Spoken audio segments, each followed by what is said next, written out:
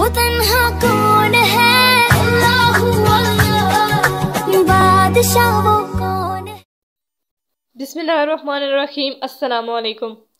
Video को शुरू करने से पहले मेरी आप लोगों से छोटी सी रिक्वेस्ट है कि इस वीडियो को पूरा देखें। इस वीडियो को लाइक करें, शेयर करें अपनी फैमिली और फ्रेंड के साथ।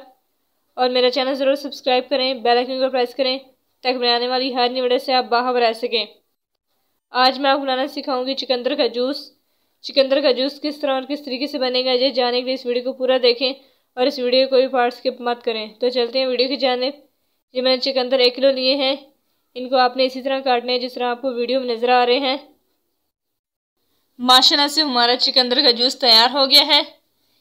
इस जूस को ज़रूर ट्राई करें। अपनी राय का इजहार कमेंट बॉक्स में ज़रूर दें। वीडियो को लाइक और शेयर करें। और आखिर में जो वीडियोस हैं, इनको ज़रूर देखें। आपको बहुत पसंद आएँगी। मुझे दीजिए इजाज़त, खुदा हाफिज।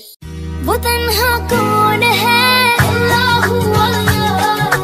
बादशाह वो कौन है? अल्लाहू अल्लाह। कौन वो